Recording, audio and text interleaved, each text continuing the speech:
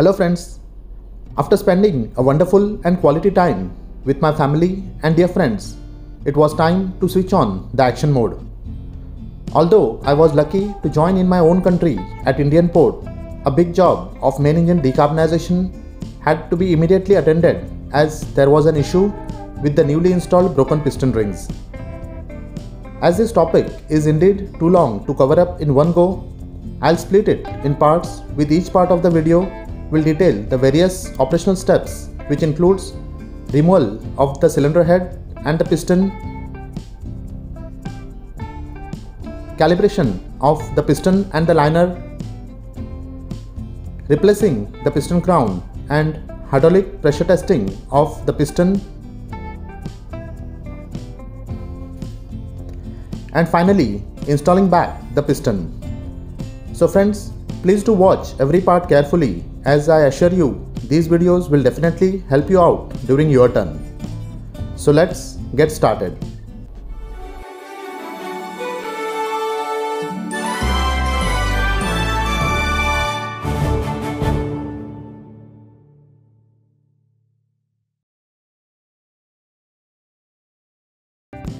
The procedures to uninstall the piston described in this video are for MAN B&W 6S60 MEC model main engine.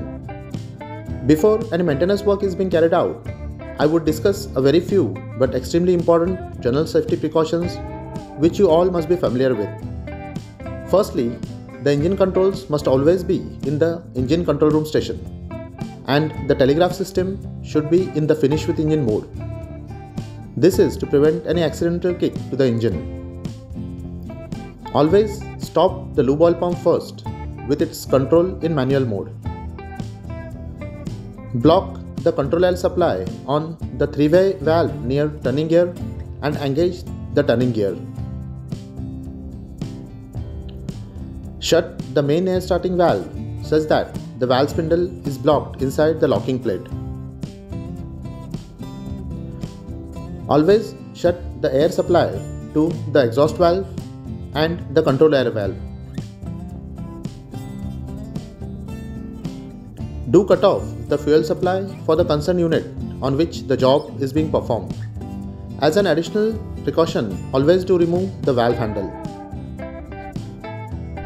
Next, you need to drain the jacket cooling water for the said unit.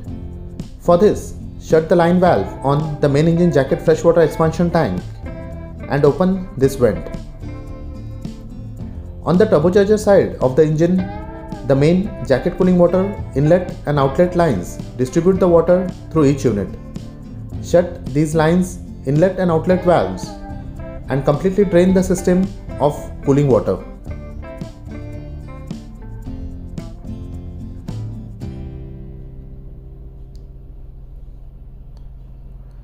Friends, it is very crucial to relieve the servo oil system pressure on the hydraulic cylinder unit. For this, you need to shut the valve number 420 on the hydraulic block. Additionally, to drain the pressure on the FIVA system, open the drain valve number 421. You can verify the pressure drop by connecting a pressure gauge at this minimess point number 455 the system should be pressure free. And lastly, close the valve number 531 for the hydraulic operation of the exhaust valve. All these mentioned general safety precautions takes very few of your time. So please do follow them religiously. It is for your team's safety. We are now ready for the real action. Make all the arrangements for the required tools and start dismantling the connections on the exhaust valve. Dismount the inductive sensor on the exhaust valve with its cable, bracket and junction box on the cylinder cover.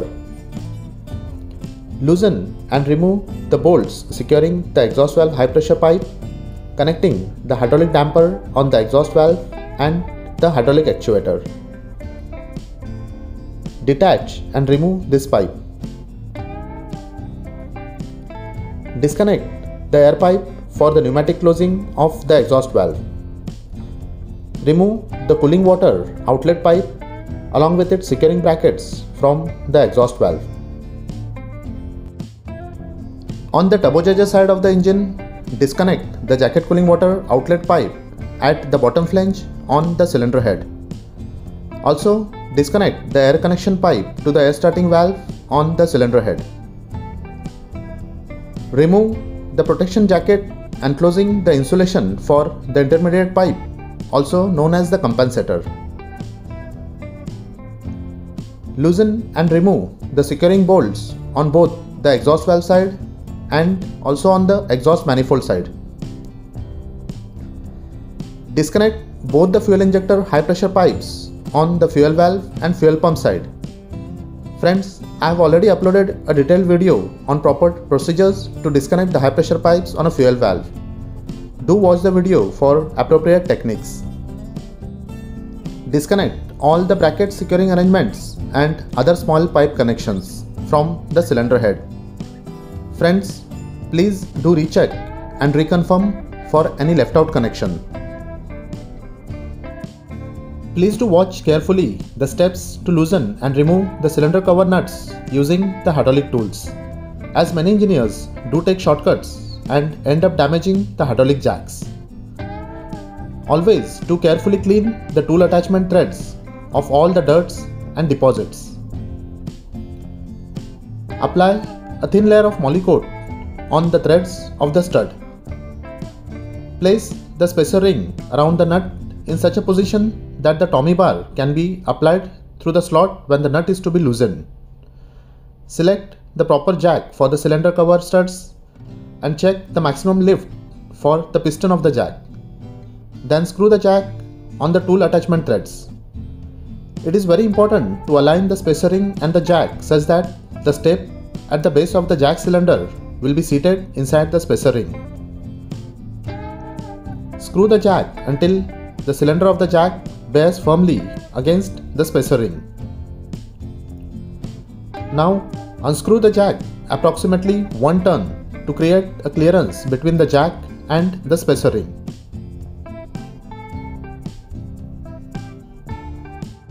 Connect the hydraulic jacks with the high pressure hoses of the distributor block and the high pressure pump. Increase the oil pressure to the prescribed value as mentioned in the manual. In our case, it was 1500 bar. If at all the nut does not come loose at 1500 bar, the pressure may be increased by approximately 150 bar. Using a Tommy bar, unscrew the nut on the stud up to 2 to 3 turns in anti-clockwise direction. Please to ensure the nut is not screwed up against the jack. Once all the cylinder nuts are loosened, relieve the hydraulic oil pressure and disconnect the high pressure pump and the hydraulic tools from the stud. Unscrew the cylinder head nuts. The cylinder head along with the exhaust valve is now ready to be lifted out of the liner.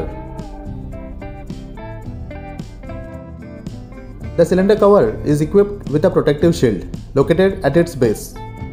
Prior lifting the cylinder cover, please do loosen the four screws securing this protective shield. Connect the engine room overhead crane hook to the exhaust valve and carefully start lifting the cylinder head along with the exhaust valve. Always align the overhead crane exactly in vertical position. During this operation, please do go with the slow up mode on the remote control box of the overhead crane. Do keep monitoring all the sides for any sort of obstruction. Also ensure the threads on the studs are clear of the cylinder head.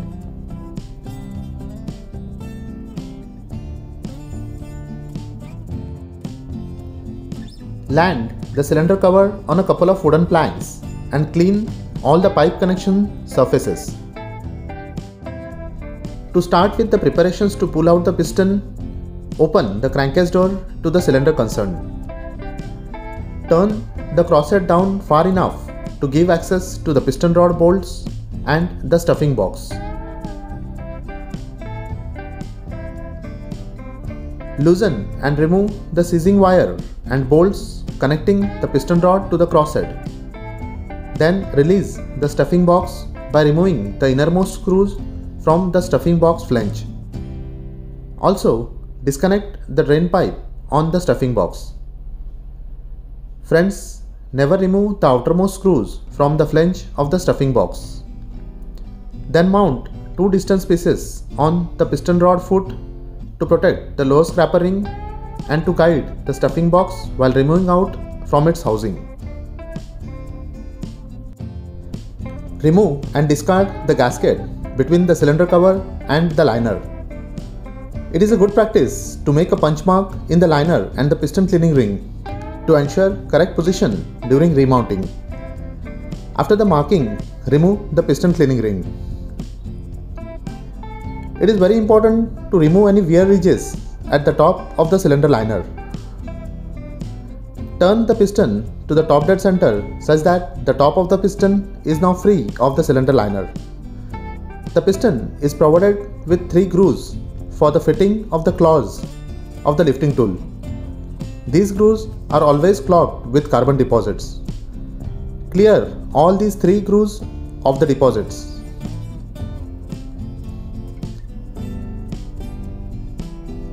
Make sure to mount the lifting tool correctly so that the claws of the lifting tool enter the lifting grooves of the piston crown.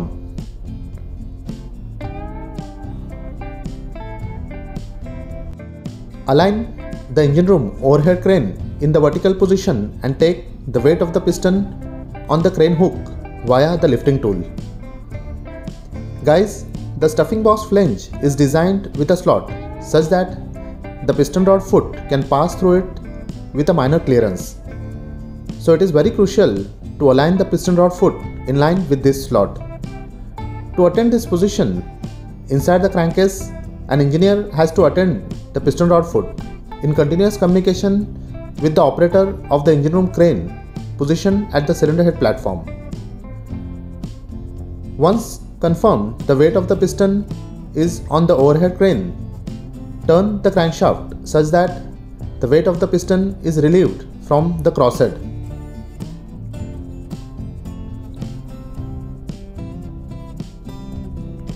Bring down the crosshead until the engineer gets clear access to the piston rod foot. Slowly start lifting the piston out of the cylinder liner, taking care to guide the piston rod foot through the stuffing box flange slot. Once confirmed the piston rod foot is clear of the slot, then pull out the piston.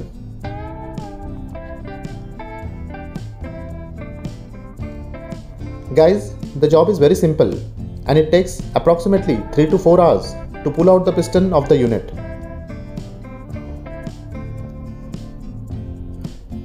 Now it's a coffee break and to refresh the team members by sharing some jokes. In the next part of the video, we'll discuss about the major reasons for the breakage of the piston rings, complete maintenance, inspection and installation of the stuffing box, the techniques for replacement of the piston crown and skirt, the cylinder liner calibration and much more. So stay tuned with my channel to be the master in your jobs on board the ship. Wish you all safe sailing and a healthy stay on board. Guys, see you in the next video. Thank you.